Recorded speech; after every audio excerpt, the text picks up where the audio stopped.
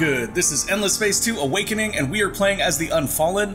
I just want to take a second to thank everybody for the comments on the first episode. I'm glad that other people are as excited about this playthrough as I am, and I also want to take a second to thank Sedgehammer and Resilence for providing some tips and things that I do need to keep in mind going forward with the un- with the Unfallen. I can't remember who said it too, and I did say this, but I want to clarify. You can use multiple vine ships to increase the speed at which you entwine systems which is why I think we have one in queue. We have two in queue. We've got two in queue already. As soon as our production finishes, we're going to get a couple vine ships to speed up that process. Now, the other thing that I do want to keep in mind, and this was from Sedgehammer, is that pirates will interrupt our ability to entwine stuff, so we really need to be prepared to deal with them early, which makes the fact that we have efficient shielding here in queue already a good idea. Now, the, the tips from Resilence were numerous and all quite brilliant and they'll kind of play out more as we go through the game. Uh, a lot of them have to do with the unique bonuses and things that the Unfallen have that I didn't recognize, and I can't remember if it was a trait that I was specifically looking at or what, but uh, where is it? It's like plus 15%. Oh, I bet you it's a law. I think it's a unique pacifist law. So let's take a look at their pacifist laws here. No, it's not that. It's not fair trade bill. It must be something we get through our quest. Uh, essentially, it gives us a huge bonus to dust and science per empire that we're at peace with. Also, we get pretty decent dust building and trade company building because of our ability to entwine systems and essentially establish peace with people and keep those systems protected. Uh, let's go ahead and... That's fine, we already knew that was coming keep on scouting. Now, aggressively scouting here as the uh, Unfallen does make a lot of sense because if we can identify the best systems, then we can kind of entwine our way through them first. Definitely a more ideal situation than us sort of just clopping around and, and grabbing anything in front of us. We do also want to keep an eye out for things that are going to be choke points. For example, if we lost Perseus here to pirates, that would be kind of problematic. Okay, let's keep it going. Early turn's gonna go fast. I'm super, super excited, guys. I... Oh, population boost is done. Can we do it again? Not quite. Not quite. We do not have the resources yet. We will soon, though, because we are working on entwining Nakos, and as soon as that's done, we should be able to colonize the steps there. I believe that we're working on that tech. Yes, we are. Four turns out from that tech. Neutral hackers are active. That means minor factions at this point, but pirates soon. Oh boy. Who are you? That is a United Empire settler, so the UE did start near us. Uh, this could actually be kind of problematic. It does look like we have a minor faction up here, so we're going to want to make first contact with them relatively soon. Getting them in our empire is going to be key, especially with the UE right here. We don't really want them to snatch those, those minor factions up on us. Now, the other thing I want to make sure we get is this right here, the Endless Research Park and Endless World. I love this wonder. I always forget the name because it's so long, but this is my favorite wonder in the game, mainly because of the 25 happiness for 10 turns. That's even better on other empires. Uh, for example, for the Hissho, that gives plus, I believe it's plus one key per turn, which is huge. So it's basically just the best thing to get early if you can, and we're already very close to being on the way with our Hyperium and Titanium. The problem is that it does take quite a few turns to finish. So what we want to do is make sure that we get most of our basic improvements done first and then really, really hone in on that. So that's what I'm going to try to do here. Of course, we want to get a couple vine ships out first. And I do want to look at the design of those vine ships because it was suggested to me that we don't really need defenses that just waste on production and makes them take longer. We can kind of get away with just engines and a vine beacon here. Uh, if they get caught, they're probably going to die anyway. They have no weapons, so that actually makes a lot of sense. I'm going to go ahead and put two of our upgraded vine ships here. Hopefully that they'll go a little bit faster now. I didn't actually pay attention though, so I, I can't tell you if that increased the speed at all. Hopefully it did though. Hopefully it slightly increased the speed. If it increased it by just one turn, it was worth it. Hey, the Basrixo! So this is one of the newer minor factions. This society evolved in the detritus of what is essentially a garbage planet. As myriad forms of waste were dumped in the world for centuries, whatever starfaring race created this ecological disaster we do not know, it was probably the Endless, come on. But eons after their passing, a new sentient life, perhaps remnants of the original civilization, perhaps something else that evolved in the mutation rich environment, came to be. Starting from ragged scavengers to becoming pragmatic and efficient recyclers, they have learned to turn garbage into gold, and planets lucky enough to welcome them will quickly see the effectiveness of their methods for recovering resources. So they are a temperate faction and they have bountiful byproducts, which turns food into production. That is a solid minor for us, guys. This is a good, good minor for us to acquire first. Uh, so we definitely want this. The Empire. Yeah, yeah, yeah. The Empire welcomes us. We don't really care. I think we want to pick up trusted brokers here. Cost is going to be 10 per turn. We have 39 per turn coming in, so we can actually afford that. And it's going to reduce the cost of these praise actions. Now, I don't really want to wait though, I kind of want to get this rolling right now because getting this minor faction is going to be huge for us. Bountiful byproducts for us would be massive. So we're going to go ahead and praise them right off the bat. We're just going to go full force for it. Uh, the Empire is here. We have met them. We can potentially get peace with them now. Hi there. No, no, come on. We're friends here. We can all be friends. Let's have a, a map sharing agreement. How about that? I'll give you map sharing, no? No map sharing. Uh, how about five titanium? Five titanium's probably pretty appetizing this early on. Huh? Huh? No? Okay, fine. Yes. Be that way then. Be that way. I wish we could afford to offer them a trade agreement, but that's going to have a per turn cost that I don't think we can necessarily. Actually, we could have maintained that. That's crazy. Um, okay. So we're not necessarily going to be able to get peace with them right now. It's just not an option. We could force peace with them for 282, which is hilarious. But we'll wait a second. We'll wait a second, see if we can get peace with them the easy way instead. I mean, honestly, forcing peace with them wouldn't be terrible either. Currently, our bonuses for peace are limited to not a lot. Not a lot. Uh, I mean, we actually probably have some faction bonuses for being at peace. Let's go ahead and check those out. Yeah, we'd get some happiness from it uh, we'd actually get some ship damage from it, which would make dealing with the pirates that are coming easier as well. Okay, we are probably going to force peace. I'm curious how long force peace lasts, though. That's that's a bigger question. Speak up. This puts the Empire into a status of peace. All hostilities anywhere on the galactic map will cease, and more advanced diplomatic negotiations will be possible. Uh, we have enough influence. We're just going to force peace here. What should the Empire Yep. make of? Yep. You're a sly you? You can be surprised all you want, but we're at peace now, buddy. We're at peace now, and that means our empire is going to be a little bit happier here. We're up to 80% happiness. I love it. And our ships are actually going to be better at combat, which is crazy. Like, I love that mechanic. By being peaceful, we're actually better at waging war. Go figure. Uh, that being said, we will have efficient shielding next turn, so we should build our first combat ships then. Ugh, how many turns are we from having Nakos? One turn. Uh, so I don't actually want to start our hack yet, because we can start it from Nakos, and that'll take us up to Deneb here. Actually, we won't be able to start it from Nakos, because we will not have a system in Nakos until we finish this. So I guess we'll go ahead and start our hack now. I mean, it's probably going to be about a three-turn difference anyway. Yeah, it's three turns to get there.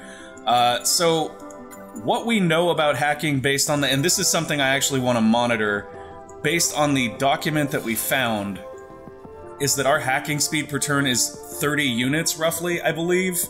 Uh, and then I can't remember, I think it was 60 units through, or no, it was maybe 30 units for a turn across a warp lane.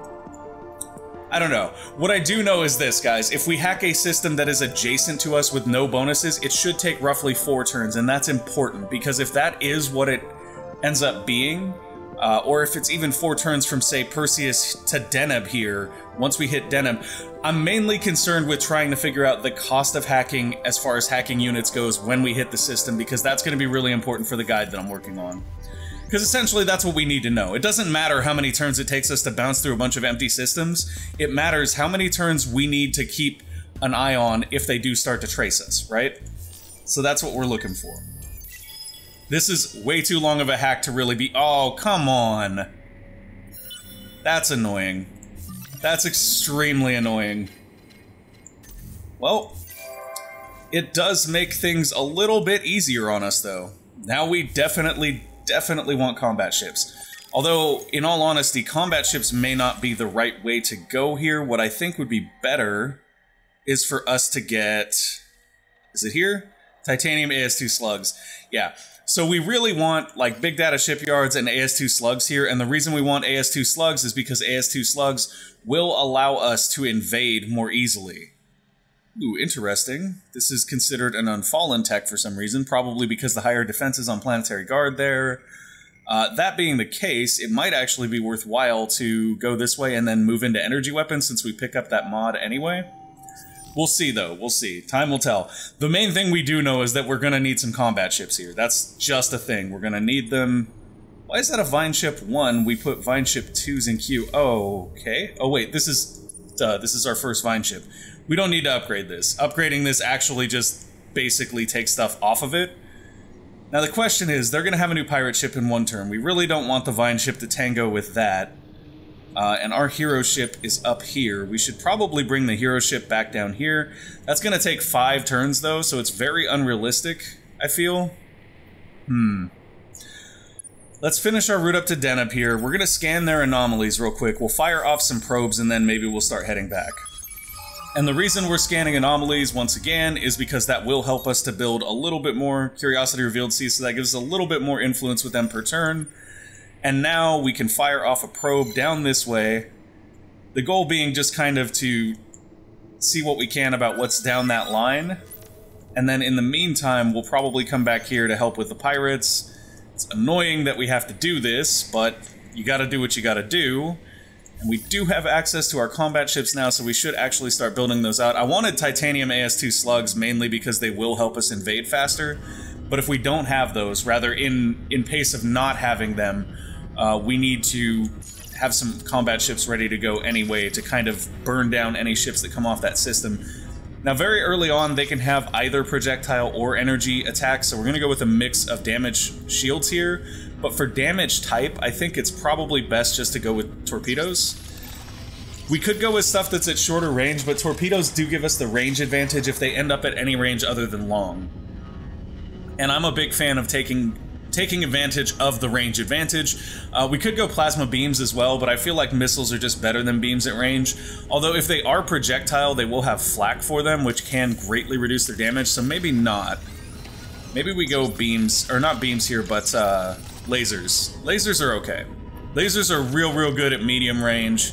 Uh, we don't have to get super close like we would with projectiles, although this also means that we don't have any flak, although we do have a good bit of armor here, so I'm not super worried about flak. Yeah, that's fine. And we'll just call these cheap heat, because that's what we always call our first throwaway ships. Uh, and then we'll also potentially want to create at least one support vessel, just to kind of see what we can do with it. Actually, wow, I think our support vessel in some ways is better than our assault vessel. For example, we can have two engines on our support vessel and a couple of shields, only one weapon, and that is a drawback, but at the same time, uh, being able to move quickly and get where we need to go is kind of a benefit. Hmm. Yeah. And this is going to be our cardboard shield for this game. Uh, I just like those names. I think they're they're pretty clear on what they are. Okay. So let's go ahead and send our vine ship over here. We don't want it to stay on Nakos because if this spawns a pirate and they send it down, they will kill it. Uh, we have some more vine ships coming out. It may be the time to put our cheap heat and our cardboard shield into queue though. And we should have four CP available right now, so we'll do one of those and three of these. And let's see how quickly we can pop those out. One turn, two turn, two turn. Okay, that's not bad. So we can get all of those out in three turns. We can also finish a vine ship in one. So here's what we're gonna do. We're gonna get our second vine ship out first. Then we're gonna put out a fleet so that we can go deal with the pirates. And then we're gonna put out another vine ship. We'd rather be expending our vines out this way so that we can wrap Deneb and take that minor faction, but because of the pirates spawning right here and grabbing this choke point, it's actually really problematic for us. I guess I should have stationed a ship there, because I think that'll prevent them from spawning there, but I'm not 100% sure of that. Okay, ending our turn, we definitely want to stay pacifist. Yep, pacifist is where it's at, please. All the pacifism. Thank you. Okay, so we're pacifist, scientists, industrialists. This is not a bad thing. This is actually a very, very good set of laws for us to have. uh, especially since we could potentially drop the anomaly law we have now to pick a better one. I always, uh, this is unexpected entropy. An emissary from the Academy arrives dressed formally. They only agree to speak to speak or communicate in public venues while being recorded. This is no ordinary discussion. It appears that the head of the Academy is indisposed, and various organizations within the Academy are beginning to operate with a certain degree of independence. You are provided with a few names, a list, a small explanation, really a marketing brochure on the Academy structure and organiz- organization. Once the discussions are over, you place an encrypted call to the hero in your employ who is visibly uncomfortable. You understand, they say. We are beings of exceptional power. We are trained to seek only strength and knowledge, but some seek more, you finish. Yes, and there are associations, fraternities within the Academy, theoretically just clubs for heroes with shared interests. Those who seek power often use them for leverage, however, in research, training, exploration. None of this is shocking, though it makes you uneasy but at least as they lack access to resources, you say they are not a threat, at least not to friendly empires. Your employee nods as if agreeing and prepares to end the discussion, then at the last second changes their mind. They add, Remember that there are unclaimed places of enormous wealth out there, and everyone is starting to look for them. Or look at them. The transmission is terminated, leaving you curious and concerned. So every time I get this one, there's just no no question for it at all. Seek the unclaimed places, need unique constellation. That's interesting. I don't think I've ever seen the mapping one. I may have, but it's rare. Uh, so we could do this one, investigate 10 curiosities, we get probe microfactory, but I don't like the probe microfactory, I don't think it's very good. Discover four systems outside of your constellation will give us the scavenge ram scoop, which is the best movement module in the game. I'm telling you right now, always take searching, always, no matter what, I'm telling you. Okay, so we're getting scavenge ram scoop here for sure. Now, the thing is, we don't necessarily want to rush to complete that because when we complete that, we will get another quest which will have us search for a number of unique systems equal to the current number of unique systems we have plus one. Uh, so right now we have one unique system. The next time we, dis we discover and are able to set up a colonization on a unique system, that's when we kind of want this to finish. So we can intentionally delay the payoff of that quest in order to do that. And what that will do is it'll net us an extra hero. And we've learned that over the last couple playthroughs. So it's something we definitely want to take advantage of. Here on Nakos, we should now be ready to colonize a couple of steps, which is lovely. Uh, so we're going to go here first. Oh, look at that burb. That is a very weird looking burb. I don't know what they... Okay, so what is the natural evolutionary use for that loop around his head? Do they, like, rack up the burbs? Is, is that how they sleep? Do they, like, hang from a tree by their head? Uh, it's very strange, but okay. So we have a colony here on Nakos, new population collection bonus for the Unfallen. Uh, we're at more pacifist influence plus 15% influence on systems with the Unfallen is our next one, and then at 50, we get 50% ownership recovery rate, which means that if somebody does take one of our planets, we can get it back very easily. Um, okay. So Aurora Waves here is actually a benefit. It does cost science, but it is a benefit, make no mistake. So we could definitely go for colonizing the second planet right away. That's not necessarily beneficial though. It's more beneficial to wait till we kind of get close to this unhappiness right here to go ahead and turn that one on. So what I think we're to do, unless there's resources you want. Now we could go here right away to get Transvine, but I don't think there's any point in that right now. I think we're better off just building out our production and things like that first. This is a temperate, it is not a fertile, so we're to get 20 here. We're not to get that much from Interplanetary Transport Network, so we'll put that second. Uh, and then we want that and that. Perfect. Okay, so we get those rolling, and then we'll colonize this as we need to. And we come back down here. We've got our second vine ship. We're going to go ahead and pull that out and send it over here to help entwine that system just a little bit faster. I cannot wait though until we get scavenge ram scoops to feed up our vine or speed up our vine ships. So here I am going to put endless research in queue just so that we reserve the resources. I don't know that it's going to be before any of these improvements, though. We're probably going to wait. The one gotcha to that is that we do want to watch right here.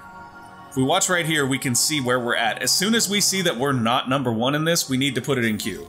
We need to put it in queue, and then we really have to hope that we make up the difference in production. But I don't think that'll be a problem because we do grow population faster than pretty much everybody else. Okay, so we lost our ecologist law, which is fine because we don't really want it anymore anyway. Now we're more inclined to go Dirty Hands Act or New Colony. New Colony actually could be really, really wonderful for us here because we have just acquired a new colony. I don't know if that'll kick in retroactively, though. I believe it does. I believe that will kick in retroactively, so it would provide 20 food to a new system, which I believe Nakos qualifies as. We can definitely check. Let's try that out. Uh, the main reason I want to try it out is because Dirty Hand Act is amazing. It is so amazing early on when you're doing stuff like this. I mean, it's amazing over here when we're doing stuff like this. It's just super beneficial. However, the additional food would make population grow even faster. Currently, we have 32 food here, so let's go ahead and turn that law on and check our food next turn. We're looking for it to be 52 next turn. That would be very nice. Uh, it would help us gain more population there very quickly. More population is the fastest way to increase your overall FIDSI on planets. Hostile trace is detected. Uh, show location. Okay, so they're tracing us at Gistred here. There is a very good chance that they will catch us, so we're going to have to cancel this. That is because they spawned right in the root of our hack. The good news is, though, that we can go Nakos to Gistrad, and that is five turns, which is actually what we would expect. We would expect four turns, maybe some additional if they have defenses. Five turns seems like an actually perfect measure based on what we've discovered in the uh, the XML of the game. So that's encouraging. That means that that XML that I found may actually be a perfectly accurate source for me to sort of pull numbers from and assess things for our hacking tutorial in future. Uh, Unfallen population has grown on Sylphie, and they do have 52 food here, which did cut our population growth time in half. That is massive right there. That's going to make a big, big difference for that system very quickly. First cheap heat is out. Military ship price has decreased. You want to come up here and make sure that we're not out of our praise territory here. We really, really need to make sure we stay ahead of the UE with Deneb. We really need to, because if the if the UE gets ahead of us there, they will absolutely assimilate that faction. And the bigger issue for us is that I believe we actually have to entwine a system before we can assimilate the minor. So we have to get rid of these pirates quickly. Like, we do not have time to wait with these pirates. They've got to go. Uh, we will invade them as soon as our hero fleet lands, I think. I would like to have our full fleet over there, but if we can't do that, that's okay. We just need to get rid of them. Hopefully, with our two vine ships here, Indusa will start to entwine a little bit faster. Okay, we're cordial with the Basrixo now, which is great. Hostile trace detected. Uh, that's fine. Your trace is going to be done in roughly... Well, it was going to take us five turns to get here, so you could say two and a half. I don't know if that goes up or down. Like, I don't know if it rounds up or down. But either way, it's we're still going to get caught, so we basically have to cancel this, but we can't afford to cancel it, so we're just going to let it go. It was a mistake to hack directly here, but I was honestly just trying to test that out. Uh, okay, Unfallen population has grown, that's great. New military techs have been unlocked, or rather a new military stage. Uh, so we do have two more CP on Empire, which we can see if we click on any of our fleets now. So we are up to seven, which means we could put out some more combat ships. Before we do that, though, I do want to get our third Vine ship out and get that rolling. Uh, you guys can go on ahead, catch up to your buddy. And we are in need of some new technology. Okay, so our next technology here is going to be an interesting decision. Dinark University is a very, very nice improvement. However, the catch to Dinark is that we're already going to be building a wonder here. We don't really need another wonder. So I think what we should be looking at is colonization techs here. So Toxic and Snow are great options for us, as are, what else? Ice and Barren. Barren, I think we can get right now if we go here. Yes, we can. Uh, so Toxic and Snow. Snow we can also get if we go here. Eukaryotic Sap will unlock our fleet speed booster, which is wonderful. Baryonic shielding will give us access to savannas, which we don't really have any of. Hmm. The problem is baryonic shielding also gives us warp drive, which lets us open free movement, which is very important. Colonize Arctic, colonize ice. So if we go snow here, we'll also get access to ice. If we go here, we're going to get access to barren, but we're also going to get an improvement that we can't really do anything with for a good while. Uh, so let's take a look at which planet would be most appetizing here. The Barrens are cold steriles. That's not really great. Did we have a Barren in this system as well? I don't think we did. No, we had a Snow. So Snow would allow us to expand our home system more. If we did want to capitalize on something here, Ice would be preferable because we can't get the Toxic just yet. I think Snow makes more sense because we're going to cap out this system before we cap out Nakos. So we're going to go for the Snow right here. I believe that's it. Yeah. So snow there, and then we may want to come over here and grab Astro Finance or something else in the Dust branch. Uh, multi-thread management here is not a bad idea. It will give us access to the intergalactic supermarket, but we're also not in need of more wonders to build. In fact, right now, it's more beneficial for us to pick up technologies that don't require us to build improvements at all because we do have some improvements already in queue. We're not in any need of more improvements. So we could go with Focus Plasma here is actually a good idea. That'll give us Titanium AST slugs. We could also go Autonomous Construction, which would give us mobile energy weapons, which is armored troops for invasions, which would still, once again, speed up our invasions. So we're going to take advantage of the fact that we have things in queue building to go ahead and grab those, so we don't end up wasting queue or ending up with like a ton of things we can build and nobody to build them. Because that's not beneficial to us either. Select and merge here. Three turns to finish Indusa, and we should have another Vine ship within the next four. Okay. That is acceptable. Vaguely acceptable, but acceptable. Uh, you're already here, so you can just go ahead and do that. I don't want to start the invasion yet, because we only have 100 manpower here, but very soon we'll have enough manpower to actually full-on invade them, and that will be the beginning of that. I'm so irritated. They spawned, like, perfectly in the worst spot for us. Just perfectly in the worst spot. Okay, get our fleets together. Cool. Battle here with our full fleet. Just in time, our fleet converged on that system. Uh, they are primarily energy weapons. Oh, actually, nice mixture here. So they've got some energy and some projectile. Good thing we're tanked against both. Uh, and then we are primarily energy, and they have zero. Well, this guy's energy defenses, so that's actually not great for us. Hmm. Medium range is where we want to live. Shield penetration on weapon modules could actually help us here.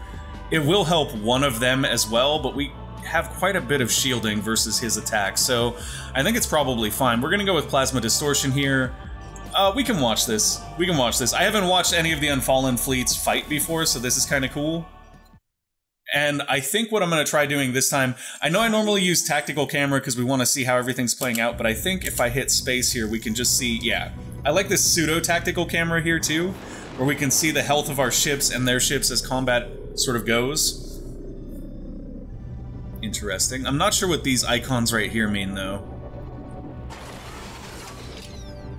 Hmm. I guess we'll see as combat unfolds. I wonder if that's like a manpower... No, manpower is the bar underneath. Interesting. Oh, okay, so the one on the left looks to be armor, and the one on the right is shields.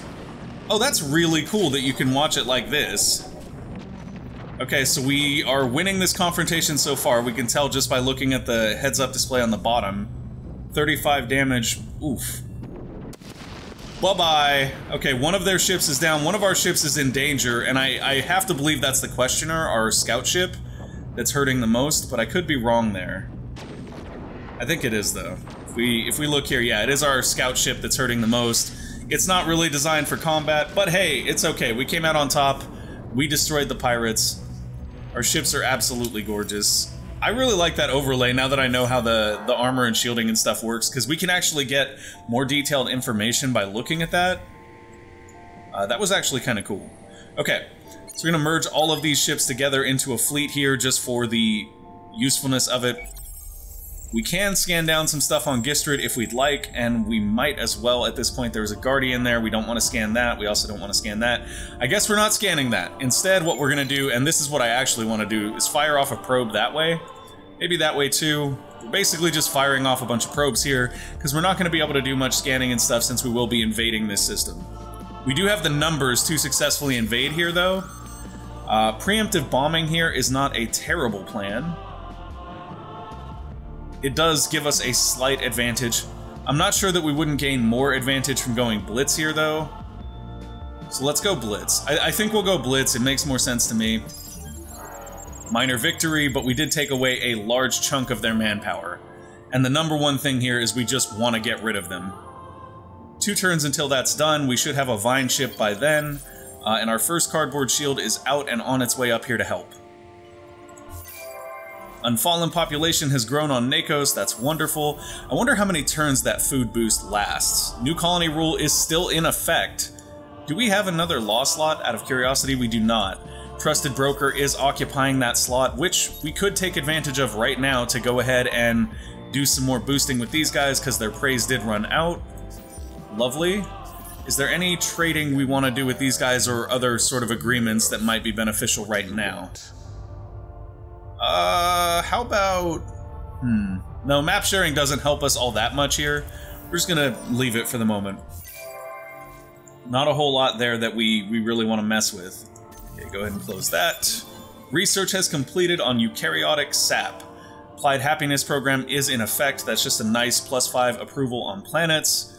Uh, we do have access to snow planets now. We have the hacking accelerator, which is a big deal, and the H-Field fleet accelerator, which is our fleet boosting module. We will want to put that on our hero ship as soon as possible. Now, the easiest way to do that will probably be to go ahead and entwine that system. Unfortunately, we're going to have to wait until we're done over there. Because we're not going to give up vining this system when we're this close. This That choke point on Nakos is actually a very big vulnerability for us, in my opinion. In less than 10 turns, stockpile 831 dust in your Empire. We can do that very easily. Uh, generate 190 production. We may actually be able to do that very easily as well. Yes, we know we were traced. Uh, minimize that. Lots of things going on. I want to check our production. Oh wow, 160. So we could get 160 production relatively easily as well. Now that one might be a little bit tougher. Uh, I think we're going to go Hoard here, though, because we if we complete this as pacifist, what that's going to do is give us more pacifist influence, which we want to keep because we want to stay pacifist. The galactic census is coming up, and although you have greater worries on your mind, you remember when one of your wisest advisors once said that a great leader is often judged not by his actions, but by the statistics he leaves behind. Perhaps it is worth investing a bit of effort to leave your mark on history, as the databases will remember. So we're going to go with Hoarding Dust. We want to be remembered. Economic might, more than any other program, will secure your legacy, amass a dust fortune that will never be forgotten. I mean, that is my preferred playstyle, so we're right there. I think I'm beginning to take a shine to you. No trespassing, no demands. I might not need to attend tonight's executions to stay in a good mood. Zolevas, you are a psychopath. You're a psycho, buddy. Uh, okay. So here we're going to Blitz. Minor victory. Very close to finishing them off, though. Very close to finishing them off. Unfallen population grows on Sylphie, which is great. That's exactly what we want. Uh, okay. Going into Sylphie here. We do have a Vine ship that's going to be coming out relatively soon. How long would it take to make another one, though? Uh, two more turns after that. I think we can definitely live with that, although we should actually colonize this planet first, and we want to go make sure that nobody else has started on this wonder. They've not. Okay. So we're not in a superb amount of danger of losing that wonder, but we should begin on it very soon if we can. One turn until that's done, that's fine. Alright, I think everything's good for us to go ahead and end the turn. Uh, this will probably be our last turn that we get to end before I've got to take off and go to work though, folks. So let's do it. Oh, hacking is left unassigned. Uh, this is sort of...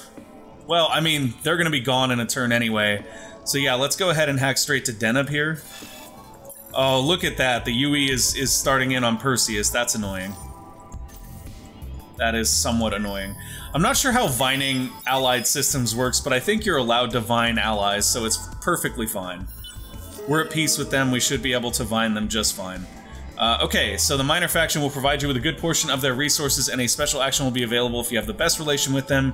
In addition, a quest to assimilate them will be available. That's good. Hostile trace is detected. We don't care, we're about to basically wreck that system. Yeah, here it is. Bye, guys. 300 dust for destroying that pirate system, and they left a, a relic behind in space, which is awesome. And we have finished the entwine action here, so we're going to bring our vine ships over here and start to entwine Gistrid. Uh, this is a nice little system, plus 50 influence. I'm not sure if we get those bonuses when we entwine them, but I would imagine we do, which is kind of cool. Uh, that means producing more vine ships to be able to entwine more stuff makes a lot of sense. Unfallen population growing again on Sylphie, which is why we are going ahead and colonizing another planet here. Hopefully that'll take effect rel relatively soon. It'll be three turns from now, that's fine. Uh, Kinetic Enhancer is unlocked, Titanium AS2 slugs are unlocked as well. You have entwined Indusa, lovely. Military ship price has decreased on the market. Well, if we were buying them, that would be excellent. Um, okay. Yes. Yes, everything is going to plan right now. I think after we get that, we may actually not do this other vine ship. Yeah. I mean, if we go there, it's 11 turns. I'm just worried somebody's gonna snipe us on that. Like, that is my number one thing. I hate being sniped on that Wonder. Uh, yeah, I think that's gonna be it for this episode, though, folks. Thank you guys for watching. I hope you enjoyed the show. If you did, make sure to go ahead and give us a like or subscribe to the channel, and we will see you next time. Bye!